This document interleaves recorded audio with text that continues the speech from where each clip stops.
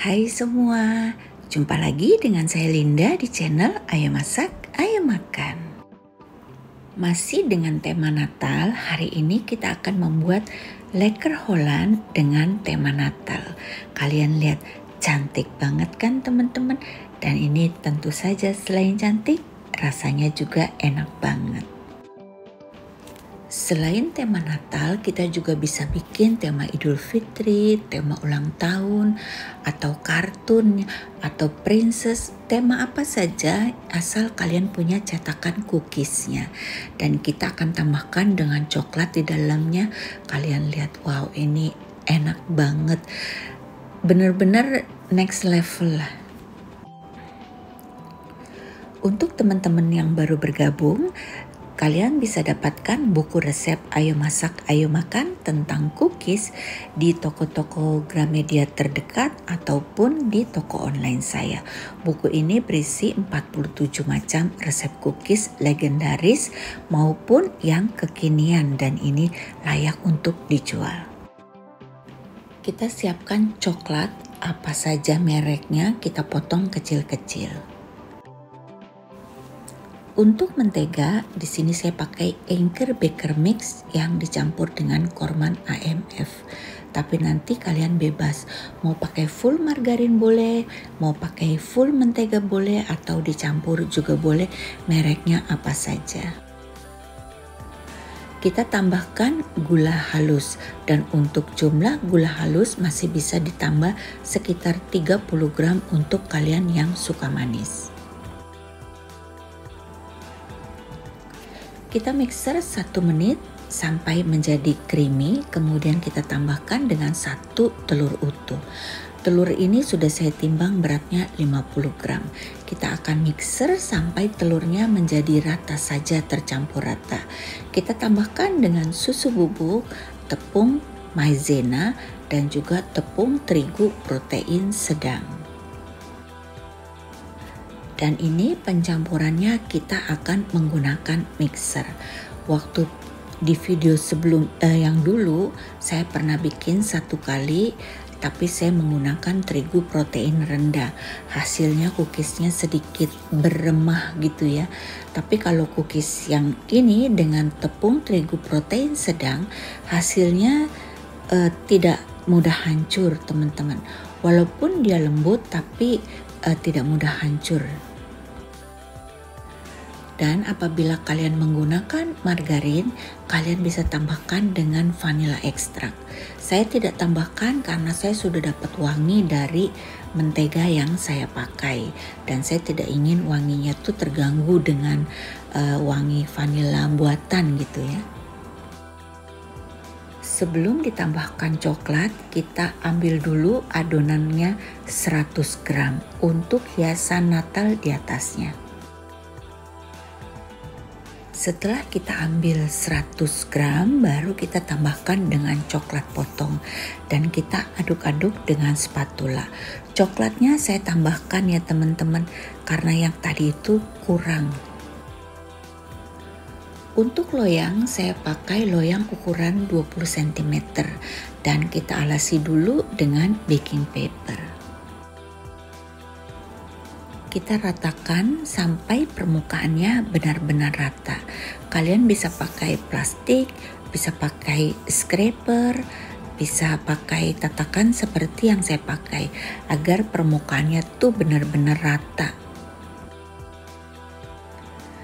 Jadi agar atasnya tuh benar-benar rata saya pakai uh, alas kue saya potong sesuai ukuran loyang ini dan kita tekan saja sampai rata ya. Setelah dirasa cukup rata, kita olesi dengan kuning telur. Olesnya cukup satu kali saja. Kita sisihkan sebentar lalu kita lanjut dengan adonan yang tadi sudah kita sisakan 100 gram. Kita tambahkan dengan tepung terigu kali ini saya pakai protein rendah sebanyak 20-25 gram. Kita campurkan sampai adonan ini menjadi satu uh, buletan utuh tidak menempel di tangan ataupun di baskom ambil sedikit adonan lalu kita tipiskan. Tipiskan benar-benar lumayan tipis ya teman-teman. Lalu kita cetak dengan cetakan uh, daisy ini namanya cookie cutter atau cookie plugger uh, bentuknya daisy. Kita cetak seperti ini di seluruh kue. Lalu atasnya kita olesi lagi dengan kuning telur. Untuk cetakan bunga ini nanti bebas kalian mau pakai cetakan apa saja yang kalian punya di rumah juga boleh. Mau bulat-bulat e, besar kecil juga boleh. Mau bentuk hati juga boleh bebas ya teman-teman. Sekarang kita ambil adonan lagi secukupnya, kita tekan e, tipiskan seperti ini. Dan di sini saya punya cookie cutter tema Natal. Nanti kalian bisa beli online, banyak banget yang jual. Di tempat yang saya beli model ini kebetulan sudah habis. Untuk cetakan cookies ini adonan harus sedikit lebih tebal agar tidak mudah robek ya teman-teman. Dan ini kita tata sesuai selera kalian mau ditaruh di mana. Kita lihat tiga dimensinya kalau sudah cantik ya sudah kita bisa lepaskan dulu penekannya ini baru kita masukin lagi, kita dorong, kita angkat cetakannya. Dengan cara seperti ini lebih mudah menurut saya. Dan jangan lupa cetakannya ini kita olesi dulu dengan tepung terigu. Mohon maaf kalau videonya loncat-loncat karena ini pertama kali saya bikin seperti ini ya teman-teman. Jadi saya sebenarnya ini udah beberapa kali dirombak pertama bikin yang cetakan bunga tapi uh, ketipisan terus kurang cantik menurut saya. Ganti lagi dengan cetakan uh, Natal. Terus posisinya tadi saya taruh di kiri terus saya pindahin ke kanan. Ya seperti itulah teman-teman. Tapi uh, ini kalaupun kalian salah cetak bisa diangkat pelan-pelan. Tidak akan rusak adonan yang 100 gram tadi masih ada sisa banyak teman-teman. Jadi saya akan cetak lagi dengan cetakan bintang atau cetakan bunga. Itu semuanya agar tidak ada yang terbuang sisa cookiesnya ya. Dan ditimpa-timpa saja tidak masalah malah akan bikin lebih cantik. Dan sekarang kita akan olesi dengan kuning telur kita hanya perlu mengoles cookies yang belum dioles kuning telur saja teman-teman.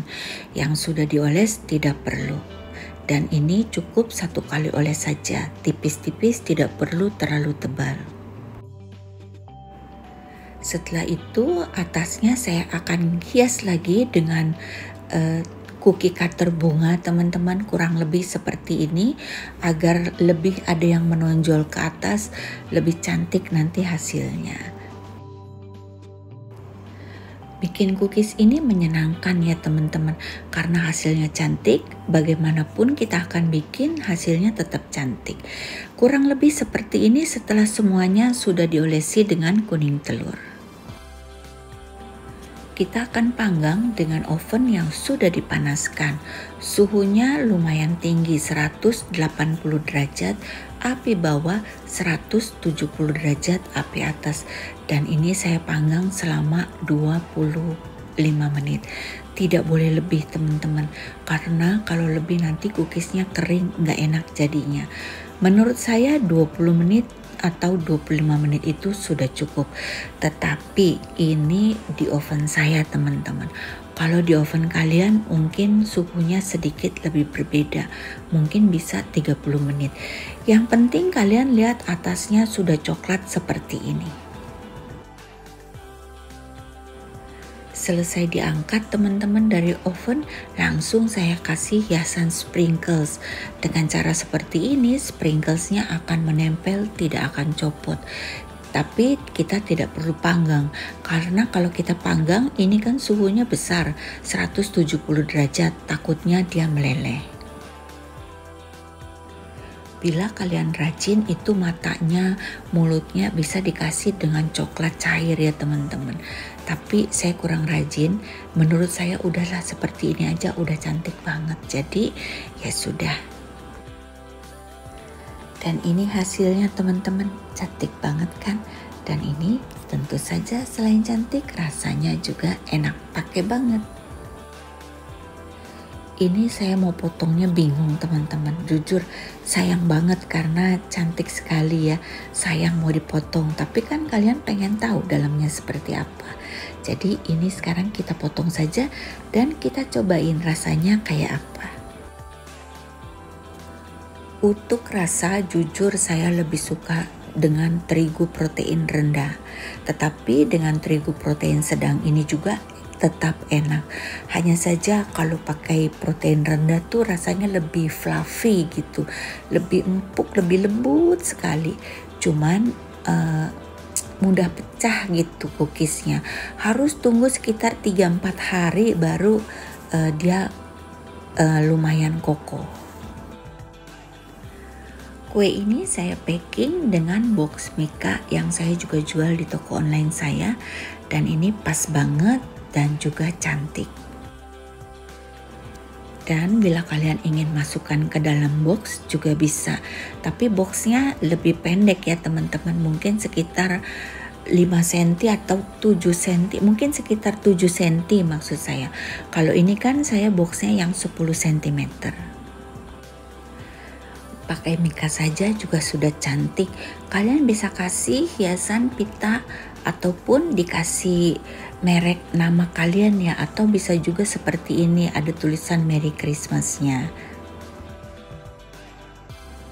Selesai sudah videonya teman-teman semoga bermanfaat dan untuk resep lengkap kalian bisa baca box deskripsi. Sampai jumpa di video selanjutnya teman-teman. Bye bye.